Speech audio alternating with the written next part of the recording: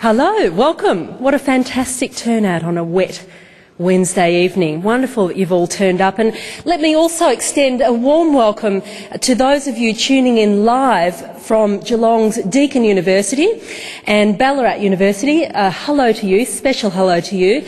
And hello to viewers of ABC's Big Ideas as well. We are filming for the ABC's Big Ideas program tonight, just to let you know that. Now, tonight is all about the technology, except for one piece of technology in your pockets, in your bags, if you could turn off that piece of technology that we're also addicted to or put it on silent, I'd be very grateful. Thank you. Now, the Graeme Clark oration honours the pioneering work of one of Australia's scientists, uh, greatest scientists, greatest living scientist, Professor Graeme Clark, Based here in Melbourne, he is the visionary behind the world's first bionic ear or multi-channel cochlear implant, which now over 200,000 people worldwide have the benefit of. It helps them hear. And with that, Graeme Clark really put Australia on the map.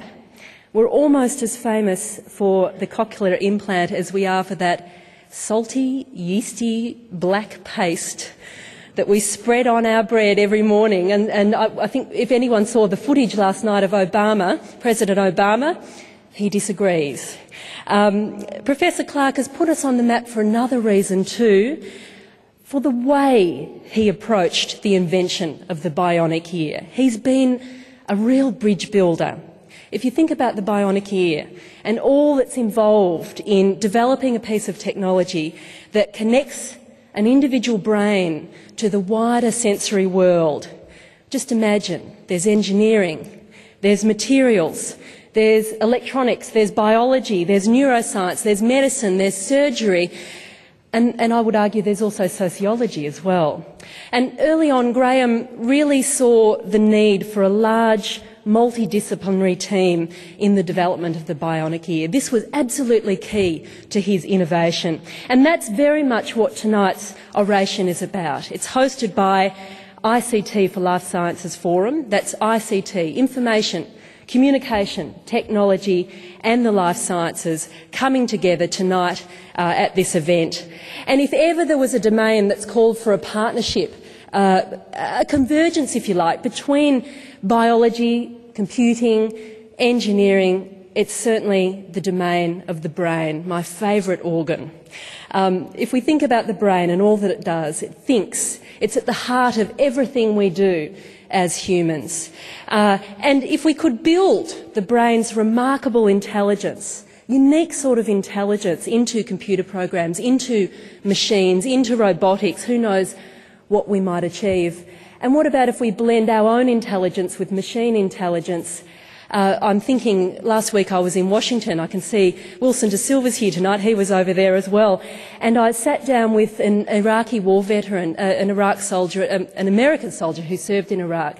His arm had been amputated. He'd lost his arm in combat in Iraq. And he was a man who had a bionic arm strapped to his body, which he controlled through thought alone and sitting down with him and doing an interview with him and getting him to demonstrate this process of him having a thought and it translating into a machine movement was staggering. And if we could re reverse engineer or model the workings of the brain, so the other way around, using computers, that has all sorts of potential too in understanding what goes right with the brain and what goes wrong with the brain. Alzheimer's, um, autism, just some of the uh, interests, research interests of our orator tonight. Like Graeme Clark, our speaker this year is a wonderful polymath. He's based at one of the world's most brilliant scientific institutions, the Salk Institute for Biological Studies in San Diego, an incredible institution. Professor Terrence Sejnowski heads up the computational neurobiology uh, laboratory there. He holds the Francis Crick Chair at the Salk. He did his PhD in physics at Princeton. Uh, he did his postdoc at Harvard Medical School, the great makings of a polymath already there you can see. He's also an investigator with the Howard Hughes Medical Institute and Professor of Biology at the University of California, San Diego, where he co-directs uh, two outfits, the Institute for Neural Computation uh, and also the NSF Temporal Dynamics of Learning Centre, which I'm sure we'll hear more about tonight. He is the president of the Neural Information Processing Systems Foundation and founding editor in chief of the journal Neural Computation. Terry, when do you sleep? I can't imagine. You don't. You're a miracle. You are a machine. Um, he's a true pioneer in his field of neural networks, as you'll hear, in modelling how things like memory work in the brain and the vast networks of brain cells that make it possible. He's published an enormous number of papers. I'm interested uh, in his book that he wrote with the wonderful neurophilosopher Pat Churchland, The Computational Brain. And amongst his many honours, Terry was elected to the Institute of Medicine in 2008 and the US Academy of Sciences last year. We're really delighted to have you here to deliver the 2011 Graeme Clark Oration on the subject of the computational brain. Let's give him a warm welcome.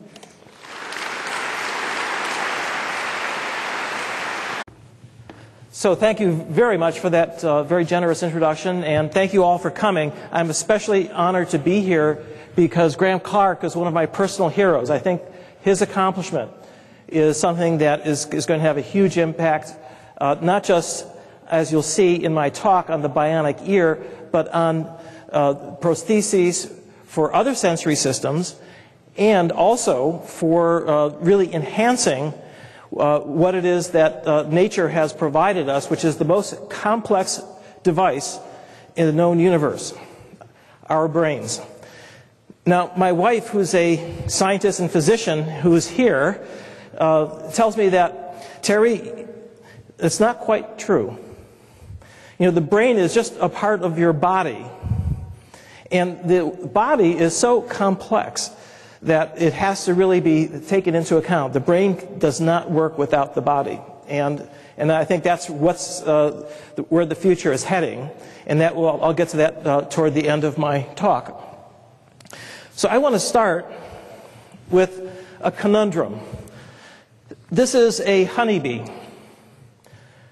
uh, Apis mellifera, and this little creature is one of the smartest insects on the planet. The honeybee can forage for food over many kilometers, which would be the equivalent of going from here up to Sydney uh, relative to its size. Uh, it can distinguish between different flowers, the, the relative uh, benefits of flowers, and it can learn the, the color of the flower associated with the reward the shape, and, and the uh, odor of the flower. Uh, it can take that information back to the hive. It can, uh, using a waggle dance, uh, tell other workers where it's located, where, where they can go and get this uh, wonderful nectar.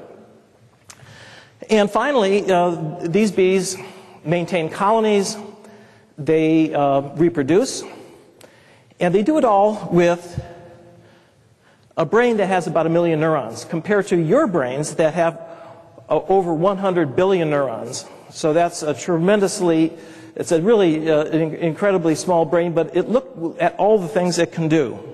I want to compare this with the world's fastest supercomputer, which right now is the, the title is held by a computer in China that is capable of over two petaflops.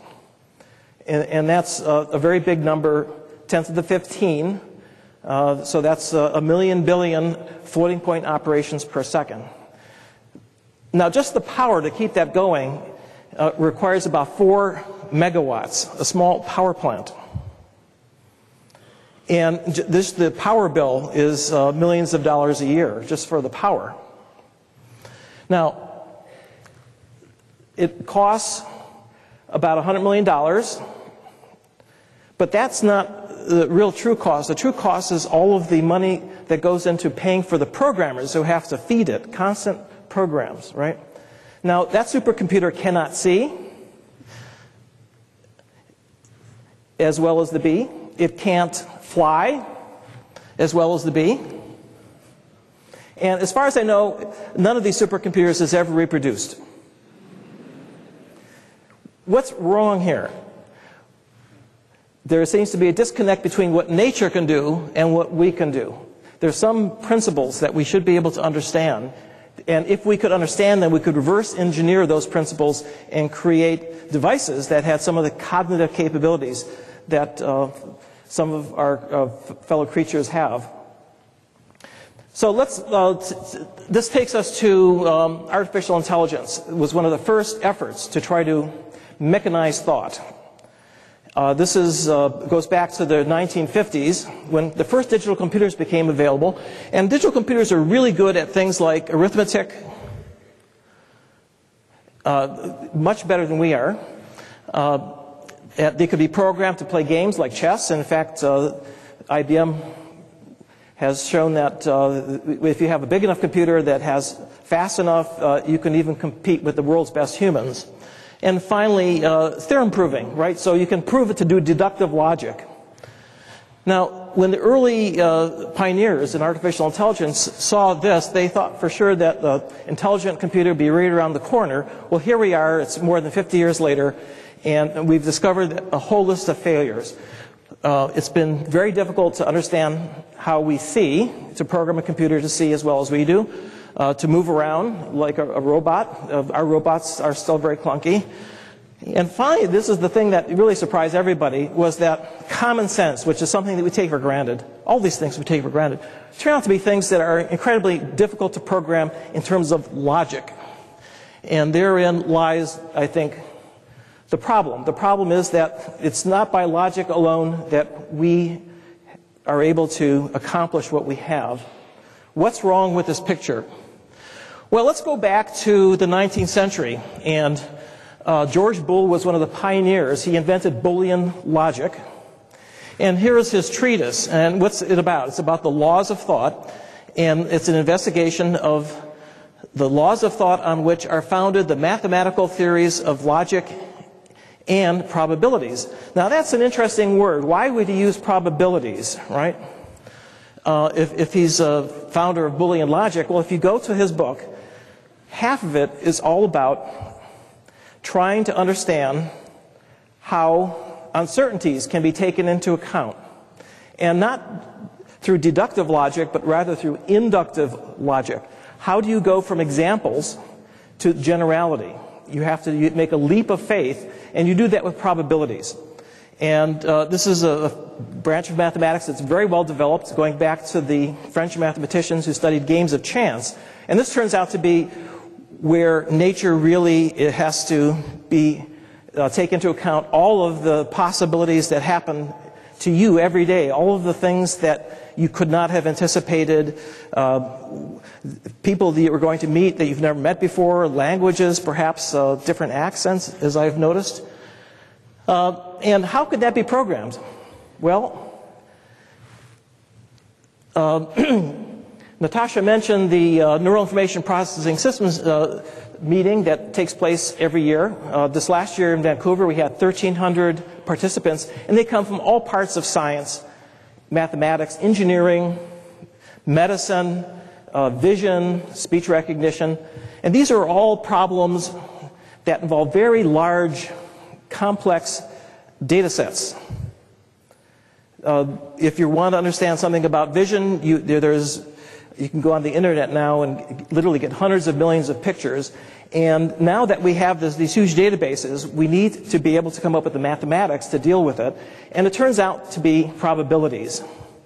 It turns out to be taking into account all of the different variations that we see in the world and trying to distill them down into uh, not a set of rules, logical rules, but rather a set of probabilities that allow us to make good guesses.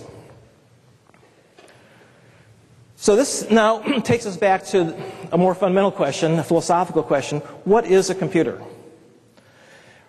We are so dominated by digital computers that it's become synonymous with computers, but what did people do to compute before they had digital computers? And that was about 1950 or so, when the first digital computers were first uh, uh, built.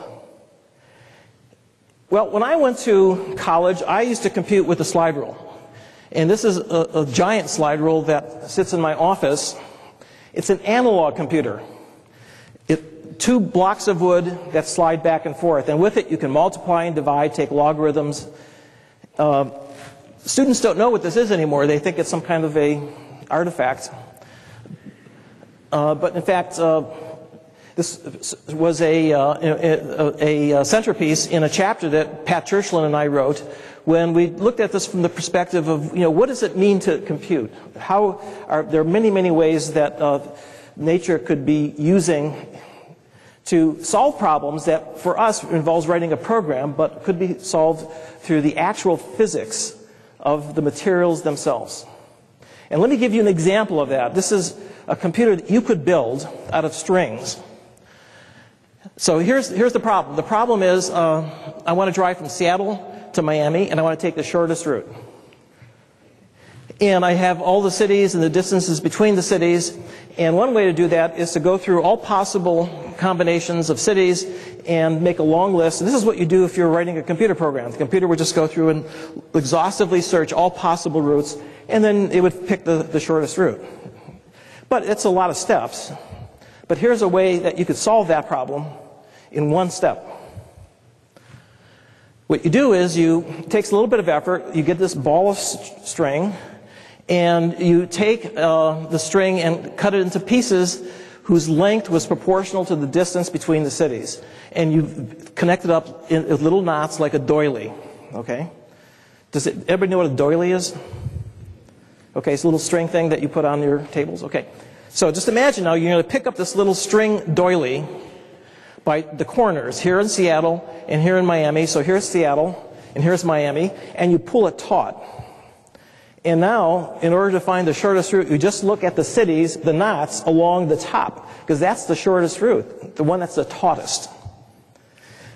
Now, not only can I solve the problem of how to go from Seattle to Miami in the shortest distance, but I can solve that problem for any pair of cities. If I want to find the distance between San Diego down here and Boston up here, I just pick it up by those two knots and pull it taut. What this illustrates, this is a, a computer, a special purpose computer. It can solve one problem and it solves it really fast and really well. And I'd like to use this as a metaphor for what nature has created in our brains. We have special purpose computers. It's not a single computer, it's hundreds of computers. Each of them specialized for one, the job that they have, and they do it exceedingly well. The equivalent of sitting down and putting together all the strings together in a, a little uh, doily is what happens when you, uh, to you when you went to school. What was going on in your brain when you were sitting in the classroom and you were learning about geography, history, mathematics? You were creating neural circuits that had very very, very uh, uh, uh, strong connections between different parts of your brain that were able to do these computations very rapidly and very efficiently. And now, as an expert in whatever area you're working, you can solve a problem by just looking at it and saying, gee, you know, I think I know how to solve that problem. And because of your expert knowledge, because of the fact that you can navigate all these different, uh, uh, different routes in your brain, uh, you can, you can uh, uh, bring that to bear in just a few steps. And that's what a chess master does when they look at a board. They're not going through all possible moves. You couldn't possibly do that. But they could immediately tell you which is the most likely move to make. And of course, they check it out, but they don't have to check all moves, just the ones that are the most probable to be the best moves. Okay, now that takes us down to the actual machinery. So let's take a look what's inside the brain. The brain is made of these neurons, 100 billion in your brain. And they are, they are very numerous, but they're very slow compared to a digital computer. So it, it takes, for example, um, many milliseconds for a signal that, uh, come, that starts here at this one neuron to travel down the axon and then connect up to the dendrites of the other neurons. Um, you know, millisecond, in a millisecond, a digital computer can do millions of computations. It's, it's really uh, orders of magnitude faster. Now, where the brain really shines, though, is the fact that it can do all these computations in parallel. And, and that's really the, the secret, is how does it that you can take a problem and create a network of connections between neurons that will allow it to solve some difficult problem that you might not even be able to describe in words. I'm going to give you some examples. Here's one of the very first neural networks that I worked on uh, when I was uh, just starting my career. Uh, was a time when, like, like I said, uh, the rule-based uh, digital computers were uh, becoming faster, but it looked as if it, it would be very difficult to take on a problem like English pronunciation. Now, why is English such a difficult language? It's because it's so irregular. A single letter can be pronounced in a dozen different ways, right? All the different pronunciations of the letter A, for example, or a C could be a hard C in cat or a soft C in city. And how do you know what the right pronunciation is? Well, you've experienced these words over and over again. And furthermore, even if you came across a word you'd never seen before, you could use phonics to help you guide you through what, to what the most probable pronunciation is. So here's the, the network that we developed uh, with Charlie Rosenberg back in the 1980s. Uh, we started out by having uh, three layers of these very simple model neurons, and these are very simple compared to real neurons. Uh, each of these model neurons uh, was, had a connection to each of the hidden units here, 80 hidden units. And then each of these in turn had connections to the output units. And the output units represented the different sounds, the different uh, 40 or 50 odd sounds of the English language. And the goal of the network was to take the center letter in a string of letters and to pronounce the middle one. Now, the, the connection strengths between the units, when we first started, of course, were started out with small random numbers, and they had to be trained by experience. Just the same way that you pick up the sounds, for example, that go with the letters. You first have to experience them. And so, for example, the network at the first time through might give you a, a, a, the wrong sound, but the teacher gives it feedback, and on the basis of the feedback, you change the strengths of the connections. And the idea is that as the connections strengthen, the network gets better and better at pronouncing the words it's seen. And then, uh, really, the test is to see how well it does on new words it's never seen before. So I'm going to give you a demonstration of what the network sounds like at the very beginning of training, at the very first pass through the database what, is, what does the network actually sound like?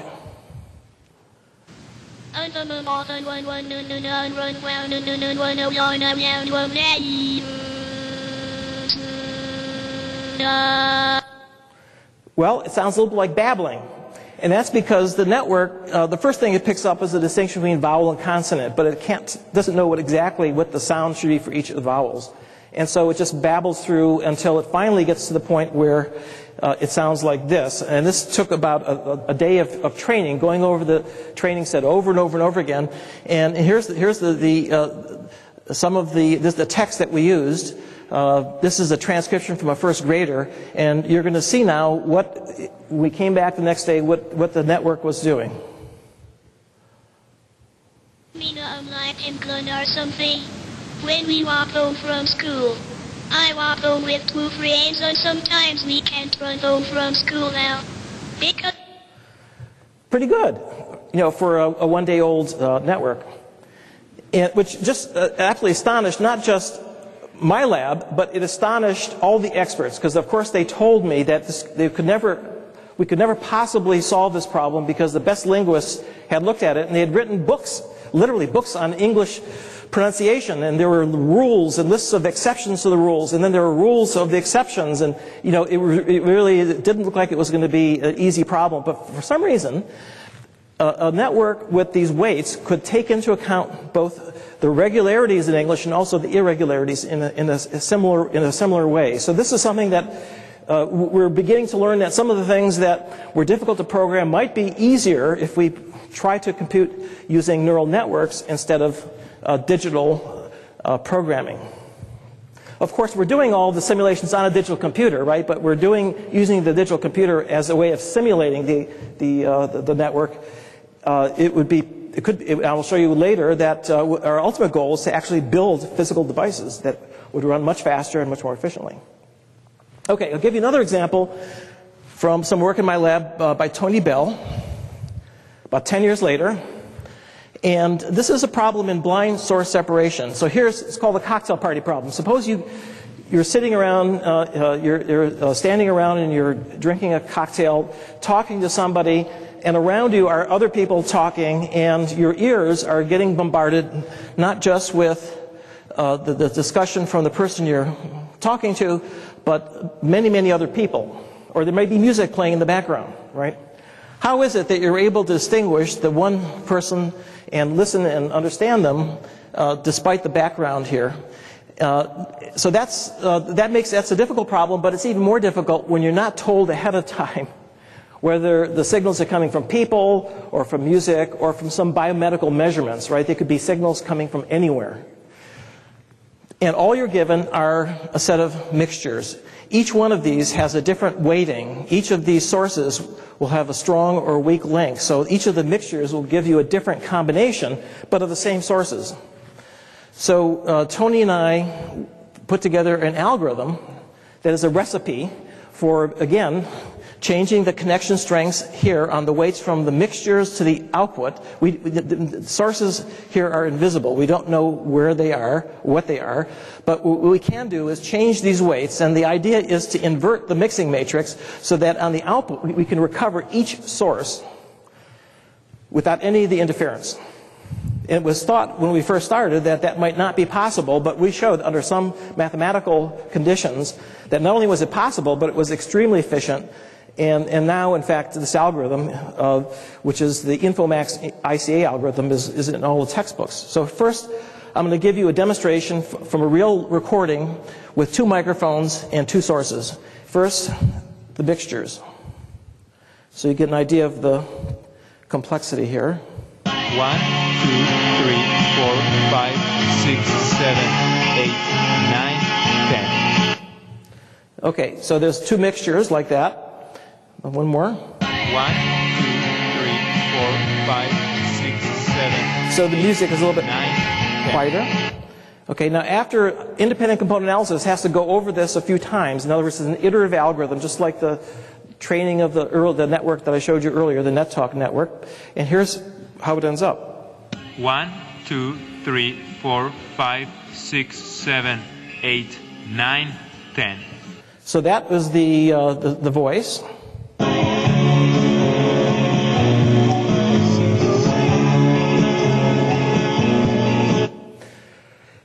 So it works not just for two sources, it will work really well for 100 sources or even 1,000 sources, way beyond human capability.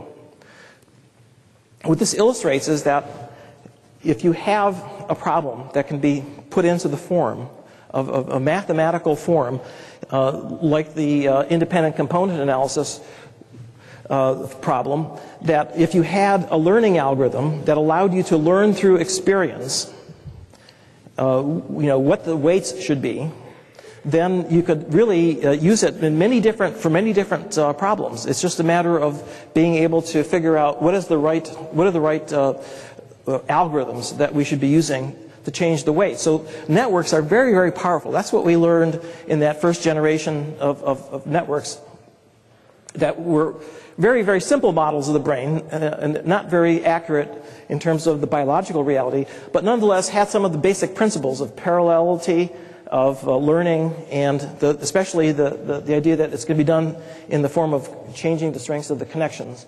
Now, I should say that um, one of the uh, outcomes of this was a spin-off company called Softmax, and, and we discovered something in the lab. Uh, the really question is whether the marketplace uh, has a place for it.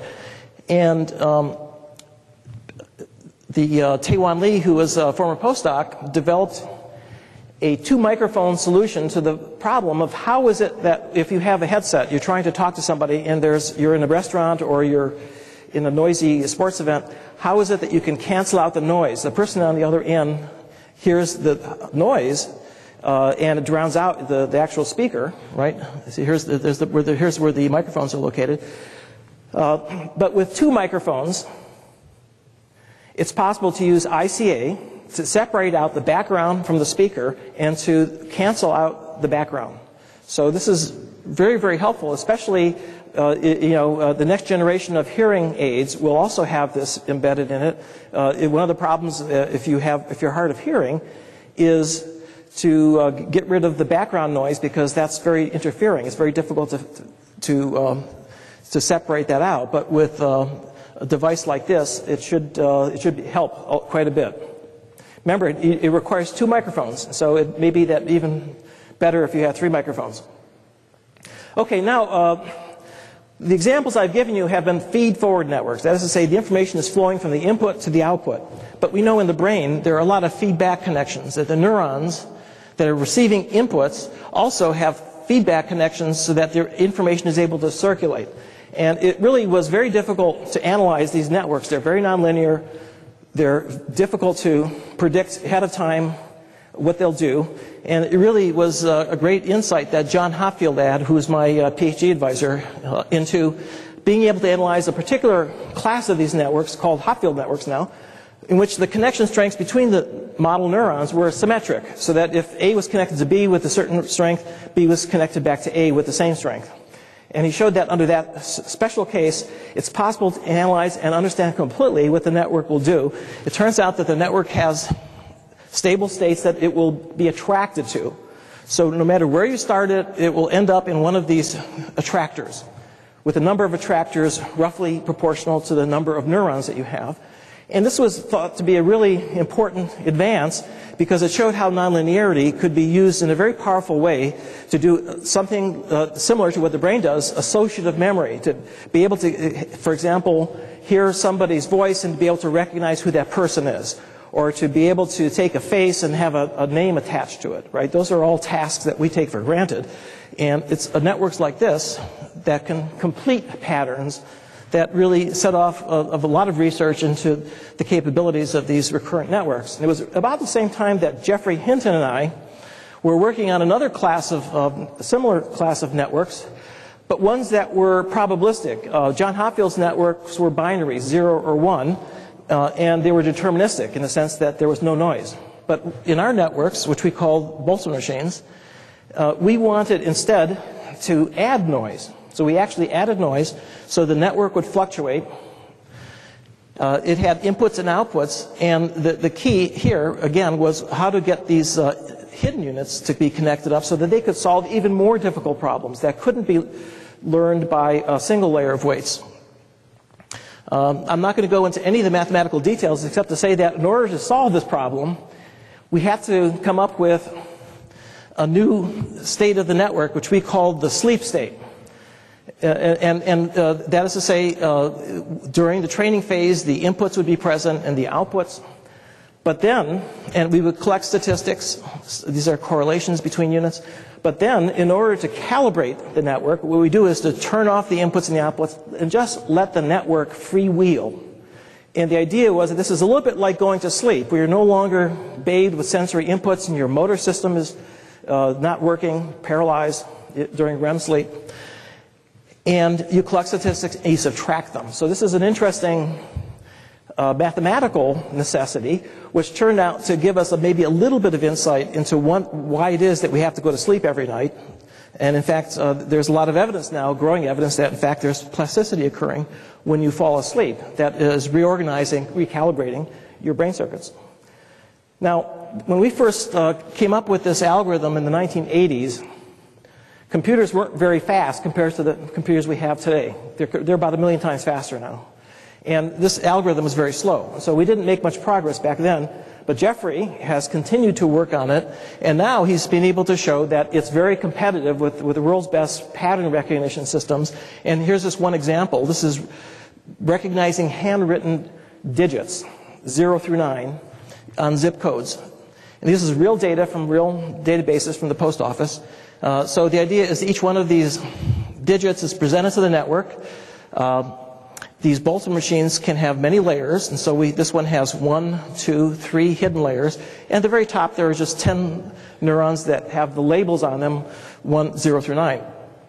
And the, the goal is to take all of these numbers here, these, these, uh, this, just the raw intensity of the pixels, uh, present them to the network, and then through this process of learning, to be able to uh, ultimately label each one of the patterns, input patterns. Uh, now, up until a, a, few years ago, the, the best algorithms that uh, were applied to this problem, including the backpropagation algorithm that we use, for example, for NetTalk and support vector machines, we're making errors on the order of 1.5%. And, and Geoff now has lowered that to 1.25. Now, you know, it may not sound like a lot, but if you think about it, the difference between this and this is percentage-wise is quite large because uh, this is uh, going from um, it's being lowered by 0.15. It's about 10 percent. So it's uh, it's really uh, you know it looks like this is going to be very practical and it's probably going to be applied to many problems like speech recognition that will allow us to produce many, you know, much, much better uh, algorithms, much better performance on many practical problems that are important for us. For example, for being able to interact with each other in a natural way, we, we use language. But right now, if you want to use a computer, most of you are probably typing with an interface that's over 100 years old and it's very clunky, right? Wouldn't it be better if you just talked to your computer? Well, that's going to happen within the next within, I hope, the next five or ten years at least, we'll, be, we'll have the algorithms now and, and it, it's going to happen. Now I want to really uh, take the brain seriously. So uh, let's, let's look at behavior, because right now these little networks that we have are like little pieces of the brain. With, with the, a brain, we have to look at it as a system, not just as a single little piece. And if you take the brain apart, you discover that there's structure at many different spatial scales from the molecular all the way up to the entire central nervous system. That's eight orders of magnitude. And there's interesting structures at each one of them. I've already talked about the neurons and the connections between them. They're called synapses. But, uh, but, these little networks themselves are connected up into spatial maps in the visual system, in the somatosensory system. And then these maps in turn are connected up uh, with each other in, in the form of uh, large-scale memory systems, like uh, the, the, hippocampus that is receiving information from all the sensory systems and is helping us to understand, uh, uh, inform memories for events and uh, objects, specific objects. Well, um, let's go back to the bee and, and try to see if we can make some progress understanding how a bee can forage for food. Because if we could understand a few of the circuits in the bee, this might give us some insights into the human brain. After all, we also have to forage for food. And, uh, you know, if we understood how the bee did it, it might help us understand how we do it. So, if we look into the bee's brain, we find that there are, it's filled with these unique neurons that are one of a kind. It's not like our brain where we have you know, a billion cortical neurons, or if we have a 100,000 neurons in the in a particular brain area, uh, bees get by with one neuron that may have the same function as all of the neurons in uh, you know, 100,000 neurons. And there's one in particular called VUMX1. It was discovered by Martin Hammer and, and Randolf Menzel. Uh, they were recording from this neuron, and this is, uh, this is the cell body, the cross section of the bee brain. And this is the axonal arborization. That's the output. So this is the input. This is the output.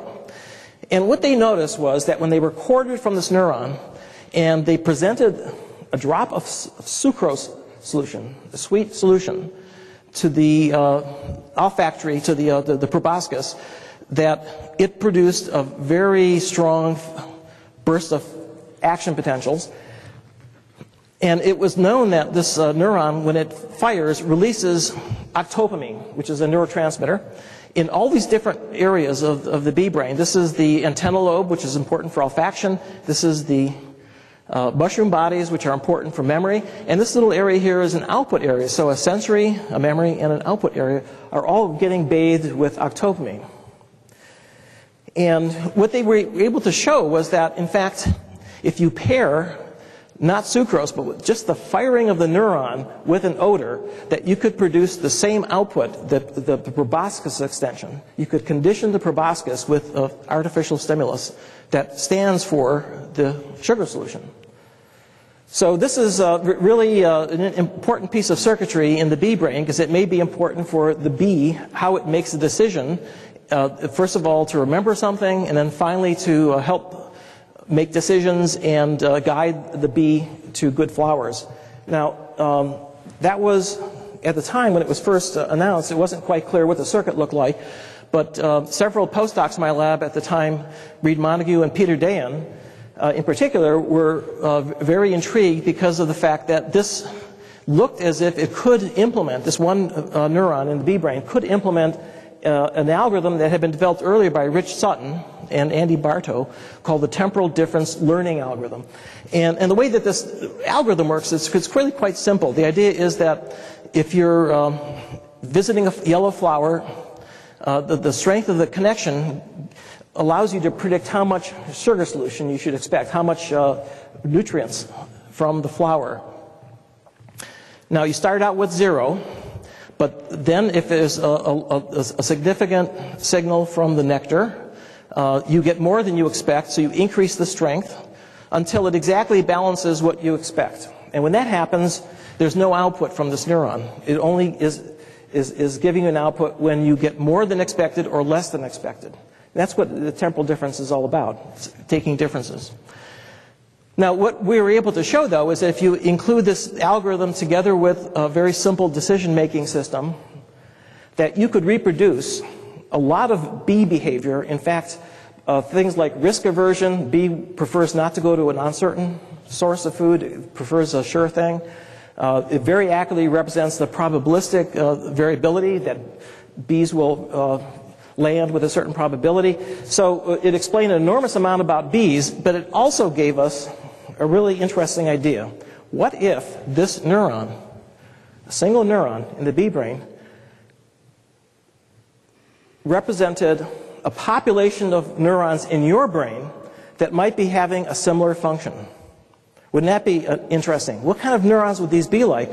Well, uh, the uh, neurotransmitter octopamine is a cousin of another neurotransmitter called dopamine. And I'm going to skip over a little bit here. And the dopamine cells are in the brainstem and project very broadly and widely throughout the entire cortex and uh, basal ganglia, parts of the brain that are very important for memory and for making decisions and taking actions. Not only that, but uh, if you uh, lose dopamine neurons, it's a medical condition. Uh, it leads to Parkinson's disease, which is uh, inability to initiate motion, uh, you have uh, tremor, uh, it has cognitive side effects. And one of them turns out to be anhedonia. Anhedonia is an absence of pleasure.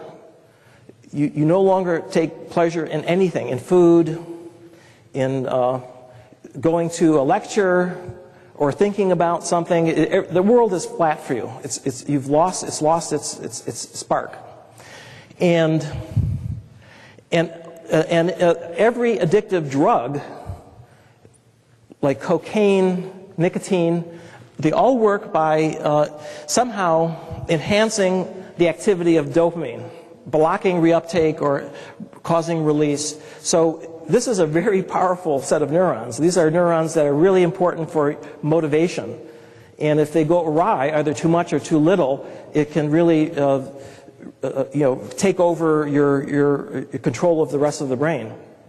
And it was in this context that Wolfram Schultz, a neurophysiologist, recording from the dopamine neurons in a monkey brain, made an important discovery. He discovered that these neurons, if we recorded from them during a task when the monkey was learning and getting reward, uh, orange juice in response to being able to pick the right choice, that uh, these neur- the, dopamine neurons were behaving exactly like that VMX1 neuron in the bee brain.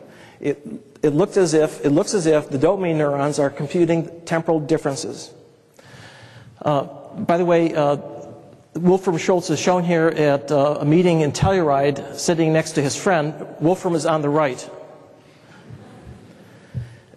So, so we now, I think, uh, this is very generally accepted now that uh, we have in our own brains, a very highly conserved system that controls basic fundamental behaviors about you know, appetitive behaviors, behaviors that are important for your survival. And we, we also are beginning to understand a little bit about what happens when these neurons go awry, and leading to many different types of, of, of diseases and impairments like Parkinson's disease.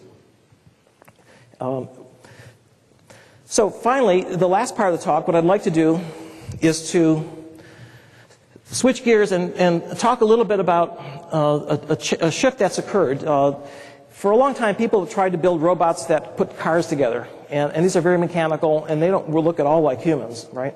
But there's a new class of robots that's coming out that do look a lot more like humans, and not just because of the nice uh, features of the face here, but it's because of their behaviors. These are social robots, and, and they've been designed to be able to interact with humans, not with uh, automobiles or you know, uh, industrial robots. Um, now, uh, we have, uh, as, as, Natasha mentioned, we have a uh, NSF-sponsored Temporal Dynamics of Learning Center in San Diego, which involves 10 institutions and 50 researchers and uh, probably another 50 students working on this project.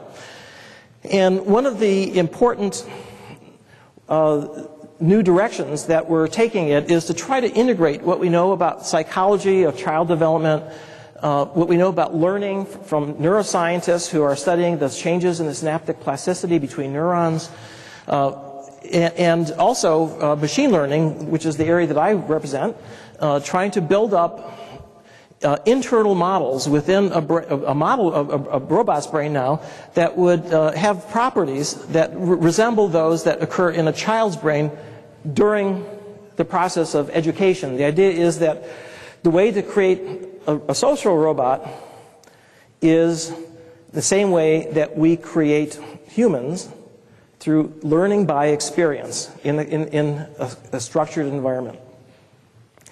And I'm just going to give you one example of a particular project by one member of our group, Javier Movellan at UCSD. And this is a, a question he asked about uh, classrooms for preschoolers. This is a, is a classroom where uh, toddlers who are 18 months old uh, are brought, and, and, and they, they're, uh, they're going to be interacting with a social robot here called Ruby.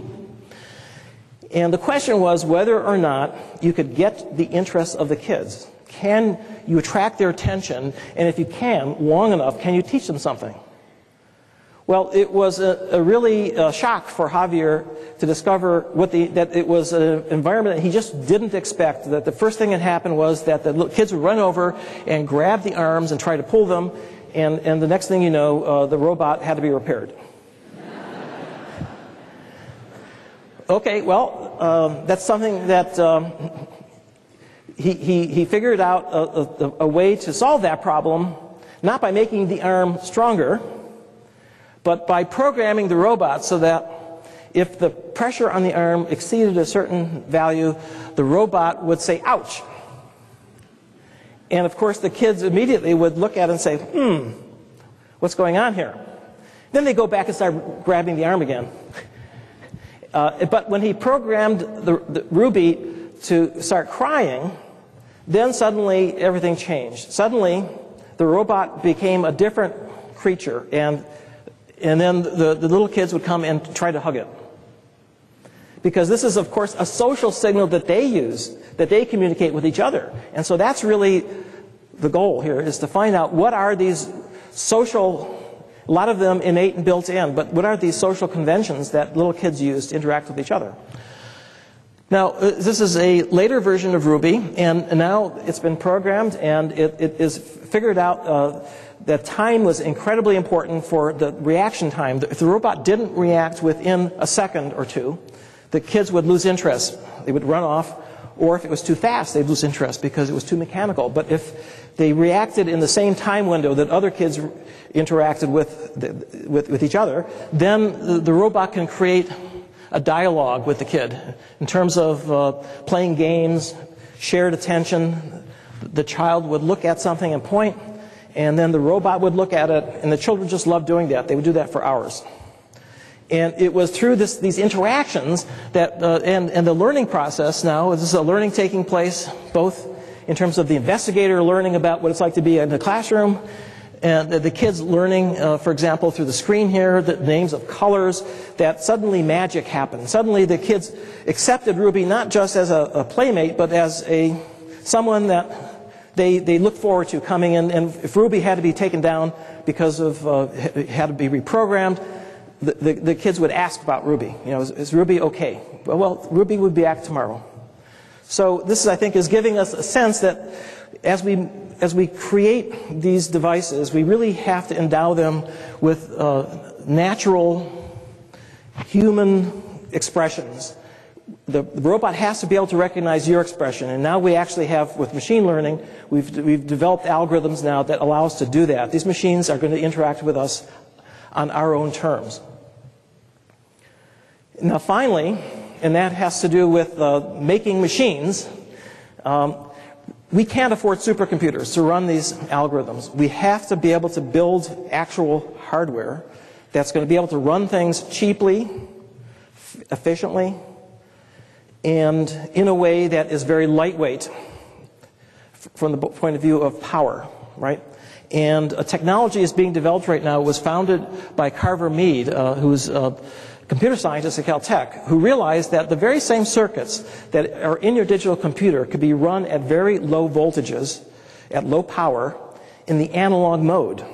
So instead of running it to the rail 0, 1, you can now look at the distance between 0 and 1 and use that analog value to represent signals, just like neurons use analog values, the membrane potentials, right? Now, these chips also have to use digital signals to communicate with each other, and those are like action potentials. So we can begin to put these chips together in the same way, for example, your brain is put together in terms of local circuits in the cortex and long range connections between them.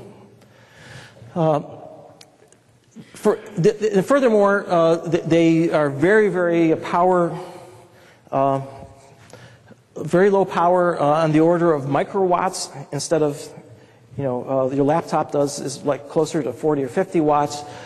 Uh, and a tremendous amount of parallelism can be integrated uh, if we knew how to connect them up uh, in, in a way to solve these difficult problems. Now, this is going to happen someday. It's already happening. Is that once these chips become um, commoditized, then they're going to have many, many applications. And I can, it's already happening that uh, certain chips are now being placed into human eyes. Uh, not these neuromorphic chips, but rather uh, digital chips as, as the very first step to stimulate the ganglion cells when the photoreceptors have degenerated.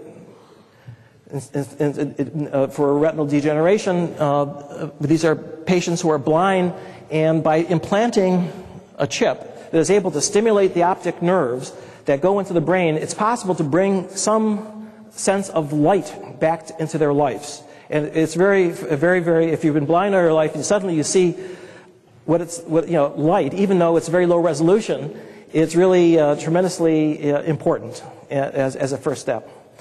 And you can imagine that as these uh, implants become more efficient and better at mimicking the actual circuitry in the retina, that it, it should be possible in the near future, and my colleague E.J. Chichilnisky is actually working on this right now, it should be possible to reproduce the actual function of the retina and then to be able to give these people real sight.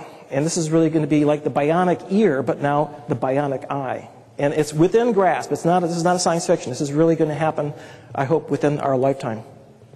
So finally, let me just uh, speculate a little bit, last few minutes. Um, where have we been uh, as, uh, in terms of uh, science and technology? Well, if you look at the first half of the 20th century, these were, the, were a period of great discovery in physics and in chemistry when the laws of quantum mechanics and relativity were discovered and, and turned into uh, technologies that we now take for granted, like this laser pointer. Uh, computers, right? That's all built, your cell phone, that's all built on physics in the first half of the 20th century. Well, what happened in the second half of the 20th century was just as momentous, if not more so, because it was in the early 50s that DNA was discovered by Watson and Crick as fundamental a discovery as the theory of quantum mechanics, but now for biology. And it's taken 50 years to, for that to play out, and we now know an enormous amount about how cells are organized and how DNA is replicated, and that's being turned into technologies. And now we can see biotech firms here and elsewhere taking advantage of that knowledge and, and using it to create not just new drugs, but new synthetic life forms. So this is an exciting period what we're living through. Well, let's look at what's going to happen in, in this century now. Um, what's the fundamental discovery that's going to power the next phase of science? And here it's purely speculative. Here's my best guess. I think that we're just entering the age of information. Tremendous amount of information at your fingertips through the internet. Tremendous amount of information that's being, that's gushing out from all of the, the, the labs that are churning out genomic sequences for all the species and for individuals. Soon your own genome will be worked out and we'll know how all the differences between uh, all of the humans and, and which ones are related to different diseases, which ones are related to different abilities. It's not going to be simple, and it's going to be, but it's going to be fascinating to work it out because it's not just the genomes of people who are living, but we're going to see fossils of genes of people who lived long ago, and we'll see that for all the species. What are the sciences where these discoveries are going to be made? Well, Certainly computer science is powering everything because without computers none of this would be possible. So there's an incredible amount of work that has to be done in computer science to make this data storage, retrieval, searches, that's all part of the discovery process that is going to take place. But ultimately, it's when we understand our own brains that we'll finally really be able to understand how it is that nature gives us these great gifts that we have that we're, we will understand the principles that will allow us to build uh, not just chips, but large systems that will allow us to interact with the information world in a much more efficient way. And, and, and finally, there's going to be a hardware side of that, the nanoscience side, where uh, we're going to be able to shrink down the, the, uh, the sizes of the chips down to the levels of single molecules. Why is this important? It's because ultimately it's energy, which is the rate limiting step. It's the energy, your brain works on about 20 watts compared to the, uh, you know, the, the, gigawatts that uh, computers, uh, supercomputers are using. Uh, that's not feasible. It's thought that to go to the next level, which is exascale computing, 10 to the 18th, that's a thousand times more than a a petaflop, which is what we have today, the, the, the uh, power that's going to be required for that technology is going to be on the order of 120 megawatts. That's like a, a city. You know, the entire New York City subway only runs on 20 megawatts. Clearly, that's not the right direction to be heading because it's not sustainable in a green environment. We need to develop uh, a new, a, a, much more powerful way of computing based on molecular uh, components nature has already been there. We know it's possible. But uh, for the first time, though, I think we'll be able to uh, manipulate matter with the same degree of, of, of, power and fidelity that nature had invented long, long ago when uh, the first cells were, you know, the origin of, of life in the very first cells. Uh, that was the great discovery that has brought us all the way here tonight. So thank you very much for your attention. And these are all the, the wonderful colleagues and mentors that I've had over the years. And I very much appreciate all of you coming here tonight to hear my oration. Thank you. Terry's come a very long way to be with us tonight. We're very grateful for his oration. And I have to say, I love a man who can combine machine learning, weeping robots, and doilies. Thank you very much. Wonderful. What, a, what an exciting time. We are alive in that 2000 to 2050 period. We're here now in the thick of it. So in our lifetime, who knows where we're about to head. I'm, I'm, look, I've got goosebumps just thinking about it, so I'm thrilled. Now, Professor Graeme Clark would, of course, love to be here at the oration that has his name its as its title, but unfortunately, he's been infected with whooping cough. So he's in lockdown. We're not letting him out of his house, um, and he can't be here tonight, and he sends his apologies. But we are videoing the event, so he'll get to see it all on tape. Instead, he's asked Professor Emeritus David Pennington to do the honours tonight and thank our orator. David Pennington has a distinguished career in medical research, medical education and healthcare. He was Dean of the Faculty of Medicine at the University of Melbourne. He was also a former long-standing Vice-Chancellor of that university. And uh, thinking about the bionic eye that Terry spoke about, right now he's currently chairman of Bionic Vision Australia. He was former chairman of Cochlear, Cochlear Limited, um, and so he has a great passion for the themes tonight. Please welcome Professor Emeritus David Pennington. Well, thank you very much. It's a real privilege to have an opportunity to thank our speaker tonight. Uh, we've had a remarkable presentation. The audience here is a group of people from very varied backgrounds. There are some who are thinking members of our community who are just interested to hear about science as it evolves. There are some who have a broad general understanding of perhaps what neuroscience might be about. There are some here who, who have careers committed in studying aspects of neuroscience uh, and people who are right in the middle of the computing revolution as it affects the issues that have been spoken to tonight. But to have a presentation from Terry Sejnowski of the kind that he's given us, covering that broad span of things, is simply remarkable. He's a man who's made contributions in many aspects of understanding the functioning of the brain.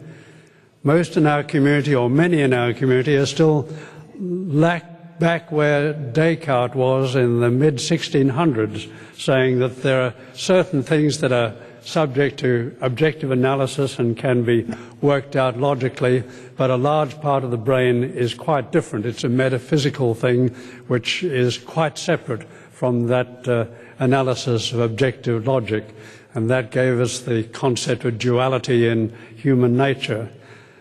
And it's still true that many in our community feel threatened by the idea that the brain is an organ to be analysed like the other organs of our body. To be able to see the computer processes of networks that can mimic the way we handle so many issues in our lives.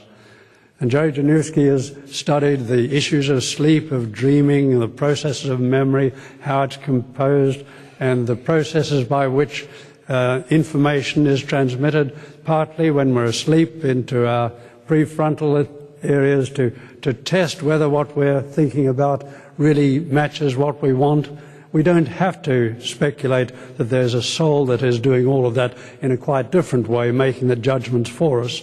We are beginning to understand the way our brain handles all of these complex issues, and it's an exciting venture.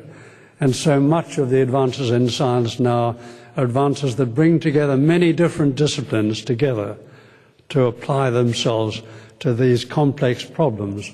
And Joe Sejnowski is just a, a, wonderful example of bringing all of those things together as we now explore this exciting threshold of discovery about what we are, how our minds work, and how we deal with the world around us. I'd like to ask you to join with me in a vote of thanks to Terry for an outstanding lecture tonight. Thank you very much.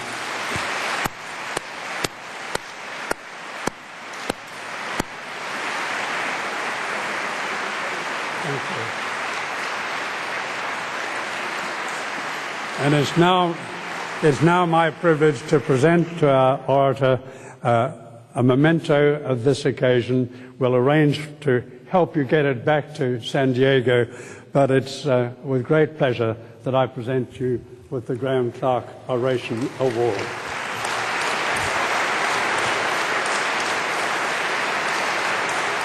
Wonderful. Thank you so much. It was just a privilege to be here. Amazing sculpture that is. Looks like a model of the cochlear implant. Um, thank you, Professor Emeritus David Pennington, and especially to Professor uh, Terry Sejnowski. Thank you. Welcome again to Australia. I know you're about to go hiking after some visits to the universities tomorrow. Um, so enjoy the hiking with your wife, uh, Dr. Beatrice Golomb. I think you're here tonight too. Welcome to Australia. Um, and thank you. You can take a seat and relax. The 2010 Graeme Clark Oration wouldn't be possible without its generous sponsors, including our venue hosts tonight. In fact, uh, so much is the support for this event and what it represents. There are 19 sponsors for this year's event. So can I draw your attention to the names of the institutions and publications and organisations and individuals involved in sponsoring an event like this. It's an immense effort uh, to put on an event like this and the dinner afterwards. So thank you. Let's give them a big round of applause along with Terry.